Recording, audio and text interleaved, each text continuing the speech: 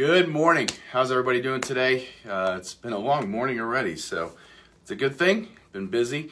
Uh, hope everybody's having a good Friday morning and getting ready for the weekend. Just a quick tip here, okay? It's very simple, very quick tip here.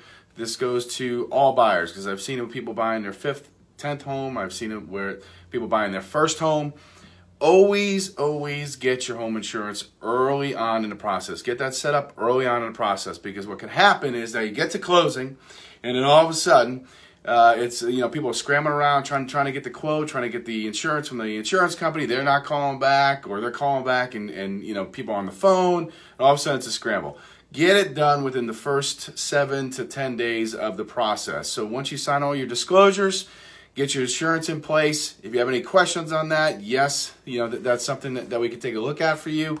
Uh, we can't do it for you. We can't you know persuade you to go here or there, but try to get that in place within seven to ten days because what happens is that uh, you know at the end everything is flying around. We get the title work, we've got the appraisal, we got the uh, you know clear to close, and all of a sudden people standing around waiting on the insurance. So kind of what we do on the front end is say, hey, listen, do this, this, this, and this, and this uh, right away and so forth. But I've seen it a lot of times where, where people don't get it up front or they drag their feet. You don't have to pay for it until closing, but it's good to get that in place now early on in the process. Simple thing, but I see it a lot. I see a lot of people drag their feet on it, but get your home insurance in place and check out some different quotes, you know, as far as the insurance. You know, try to get a $500 deductible or a 1000 see what the prices are. Include your cars in that. Once again, I don't sell any of that stuff.